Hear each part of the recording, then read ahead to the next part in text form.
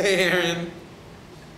nice to finally make some real eye eye contact with you. Mm-hmm. Um, so, I am on a computer screen right now because I'm in a show in DC um, at the Woolly Mammoth Theater. And I am not here via computer. I'm here in person um, in Winston-Salem.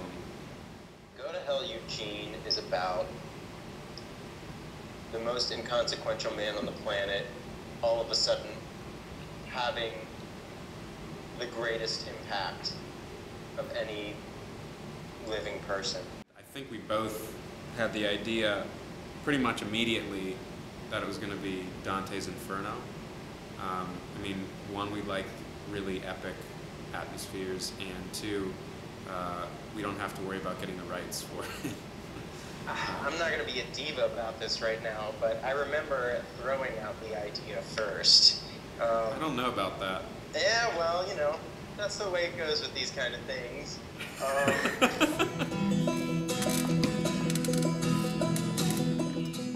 Uh, 87%. yeah, we figured it out. It's about 87.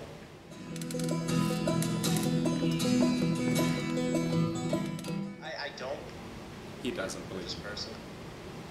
Uh, but if it did exist, I would have to eat hair or something. I would have to eat just lots of dried up dead hair with pepper sprinkled on it or something. I don't. The other way that I imagine hell is sort of like this. It's sort of like it's fun. It's it's like Disney World, sort of. Uh, except that you, you feel pain, a lot of pain. But yeah. I think we live it every day.